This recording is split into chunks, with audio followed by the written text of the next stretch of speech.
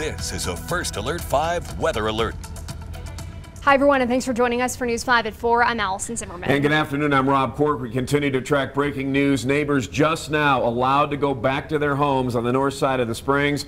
A grass fire near Interquest and I-25 forced those evacuation. Again, just lifted that mandatory order about 15 minutes ago. Now, this broke out right around 1230 this afternoon near Scheels and the Great Wolf Lodge, burning three to five acres. That's how bad it looked at the initial, but thankfully no homes burned. The good news. News 5's Eric Ross has been covering the fire since it broke out around 1230. He joins us live from the fire line with the latest. Eric.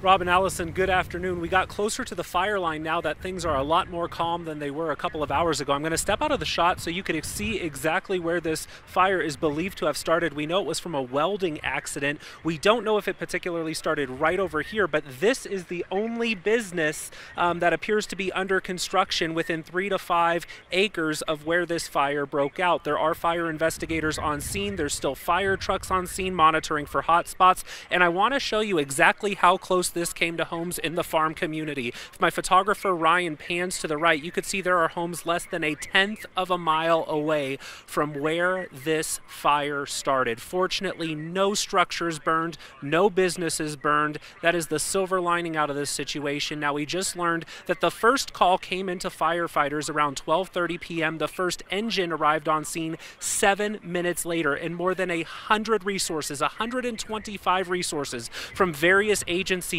immediately descended on this fire to put it out quickly. It was a high fire danger day. We had wind speeds in excess of 35 to 40 miles per hour. It made this fire very, very tough, but because there were so many resources out here, they were able to contain it within a matter of hours. Firefighters tell News 5 that they are shocked this wasn't worse.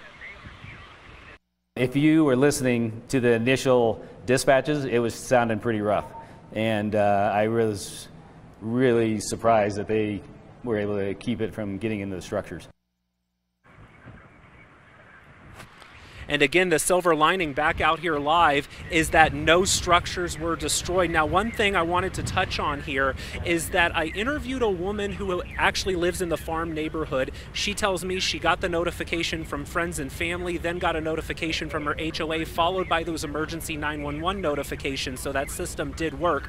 But she told me she did not actually have a go bag ready to go. And now is the time, if you have not prepared be prepared now. Fire season is 24 7. We cannot stress the importance of having a go bag because fires can burn in a moment's notice. Again, about five acres, maybe a little bit less burned, but silver lining out here, no structures destroyed. And I'm going to step out of the shot one more time so you could see firefighters wrapping up their investigation off into the distance. They're going to be out here for a few more hours, just mopping up hot spots. We've seen a couple trees start smoking again and maybe a couple of flames here and there. I don't see any right this second, but about 15 minutes ago when I was at the parking garage, of the Ent building just down the street, we did see a tree um, that had a flame coming out of the top. So firefighters are going to be here presumably for the next two to three hours, monitoring those hot spots and making sure that nothing flares up. But again, the situation appears under control. And from all of us here at News 5, we want to thank all of our first responders who arrived on scene within a matter of minutes, contained the fire line, and put out the fire. So great work out here. Reporting live on the north side of Colorado Springs, I'm Eric Ross.